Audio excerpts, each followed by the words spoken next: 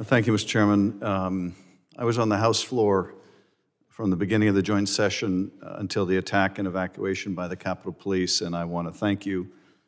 Um, I'm convinced that one of the lives you saved that day might very well have been my own. Um, We are all greatly in your debt. Uh, You are all heroes. Uh, Sergeant Gonell, um, Representative Lofgren asked you about your experience, and I won't ask you to repeat that. I would like the public to see from your perspective uh, some video, if you're comfortable with my showing it. Yeah, that's fine. Uh, If the clerk could uh, roll the video, please. You're gonna die tonight. You know how to lock them together? Here, like this. Arms through these shields. You know how to put your arm? Get, do we have a hard platoon guy here? You. Show them how to lock the shields together and hold the shields. We need an avenue of escape. So wait to lock this one in. Go ahead.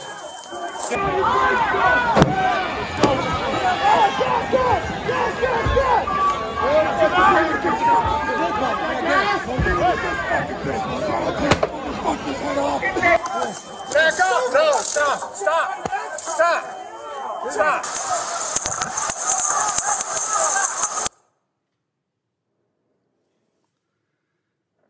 Sergeant, uh, in that video, one of the first things you hear is uh, someone saying you're going to die tonight.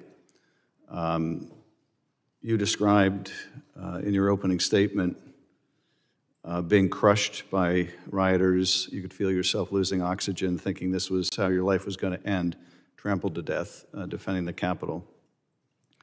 Um, It's hard for any of us to understand what you went through, even though we were there. Uh, It's even harder, I think, for people around the country to understand what that was like. Uh, Can you tell us what you were thinking when you were losing oxygen and thought that might be the end? My rationale there and the way I was thinking is like, we can't let these people in no matter what, even if it costs my life. Um, that had bloody hand that you saw, that that's me in there. And both, hand, both my hands were bleeding bad. And at no point in time did I stop to consider stop because the attacks were so relentless that all we had to do is, I- I was thinking was, I need to survive this, if possible, but I'm willing to sacrifice myself to prevent this, uh, the attack, attackers from coming in. I swore an oath and to protect the public, the member of Congress, and the United States Constitution and whatnot.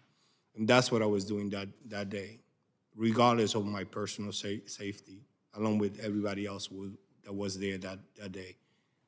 Um, they were calling us traitors, even though they were the one doing committing the treasonous act that day. It- it is devastating and demoralizing for people, whoever party is, to call the, this attack and continue to minimize it like nothing happened. It was an attempted coup that was happening at the Capitol that day. And if it had been another country, the U.S. would have sent help. And and- and people need to understand the severity of, in the magnitude of, of the event that was happening that day. We were all fighting for our lives to give them, to give you guys a chance to go home to your family, to escape.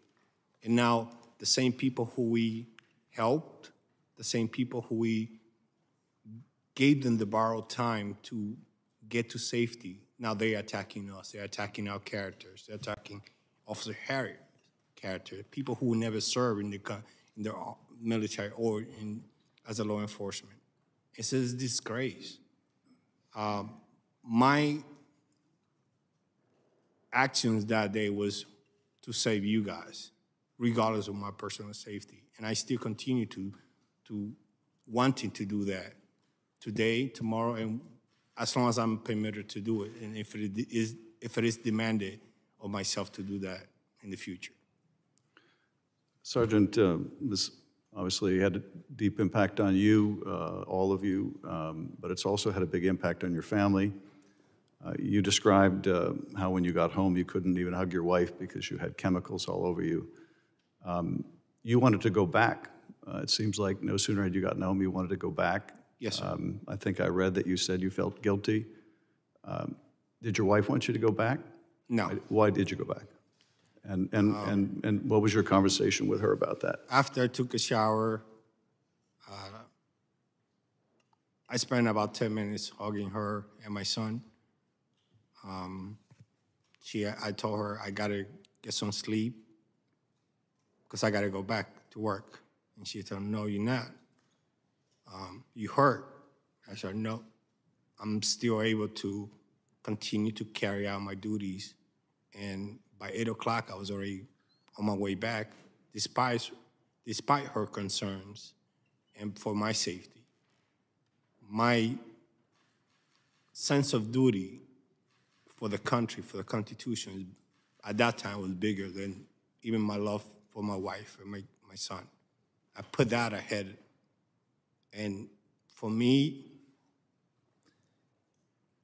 it's confounding that some people who have sworn oath, elected officials, including people in the military uh, that I seen at the lower stairs fighting against me, they swore an oath and they're forgetting about that oath. They're not putting the country before the party. And that's what bothers me the most. Because I, as a fo- uh, former soldier, I know what that inherits, that oath. And I was willing, I'm still doing, willing to do that. And you got people right now in front of the Justice Department asking to release some of the very same people to be released, even though we are testifying about the trauma and the agony, everything that happened to us. It's pathetic. And they shouldn't be elected official anymore. Officer Dunn, um, you, you described talking to your uh, fellow black officer about what you went through and experiencing uh, those racial epithets. Uh, You asked a question, I think, that I've been haunted by ever since, is this America? And I- I'm very interested to know your thoughts on the answer to that question. Um, Is this America what you saw? Well, uh, thank you for your question. Um, you know, I I said this. I've I've done a few interviews before about what my experiences that day, and I said that um, it, was a war that we fought, and a war is composed of bunch of different battles, and everybody, even sitting at this table, fought a different battle that day, but it was all for the same war. Um, and as black officers, I believe we fought a different battle also. And um, the fact that we had our, our race attacked and just because of the way we look, you know. To answer your question, frankly, I guess it is America. It shouldn't be, but I guess that's the way that things are. I don't condone it, I don't like it, but I mean, if you look at our history of American history, things are uh, countries existed because they beat, they won a war, or colonies and state lines and boundaries exist because of violence and wars. Like, so I guess it sounds silly, but I guess it is American, and it's so. But it's not the it's not the side of America that I like. It's not the side of that any of us here represent we represent the, the good side of America, the people that actually believe in decency and human decency, and we appeal to just the, the good of the good in people. That's what we want to see, whether we disagree with how they vote on a bill about infrastructure. Everybody wants the right thing, people to do okay. So that's why I'm glad to see this committee composed of Republican members also So I, I, that's encouraging. It's encouraging. So that's the side of America that I say, yes, this is America. This is the side that I like and the, the side that I acknowledge. So Officer, thank you. Um, I believe in this country, and I believe in it because of people like you uh, who understand what the flag means and what our Constitution means and risk their lives to defend it. I'd like to think, uh, uh, as Amanda Gorman so eloquently said, uh, that we're not broken, we're just unfinished. Because if we're no longer committed to a peaceful transfer of power after our elections, uh, if our side doesn't win, then God help us. If we deem elections illegitimate merely because they didn't go our way rather than trying to do better the next time, then God help us. And if we're so driven by bigotry and hate that we attack our fellow citizens as traitors, if they're born in another country or they don't look like us,